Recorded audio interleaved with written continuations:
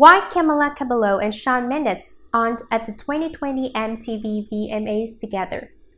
Award show lovebirds Shawn Mendes and Camila Cabello won't be getting curtly in any audience tonight at the MTV VMAs.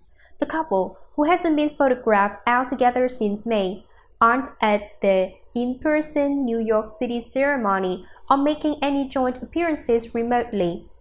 Why? Neither Mendes nor Cabello have any individual nominations. Cabello's cinematographer for a My Oh My music video, Dave Meyers, is up for the Best Cinematography VMA though. So, are Cabello and Mendes together right now? No, but it isn't necessarily because they broke up. Camila is back at work shooting her upcoming film Cinderella in London. She's playing the titular character.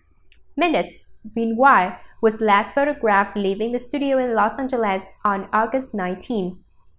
Interestingly, he met up with his ex Hailey Baldwin and her husband Justin Bieber that day. Cabello posted about being back in the UK on her Instagram on August 18th. I'm just trying to make friends with baby dear back in the UK, finishing Cinderella. I love this movie, so proud to be a part of it already. Can't wait for you to see it. At the beginning of the quarantine, Mendes and Cabello stayed together in Miami. On May 31st, they were photographed attending a Black Lives Matter protest together. That appearance came five months after Cabello publicly apologized for her racist old Tumblr post. She wrote her Instagram and Twitter that when I was younger, I used language that I'm deeply ashamed of and will regret forever.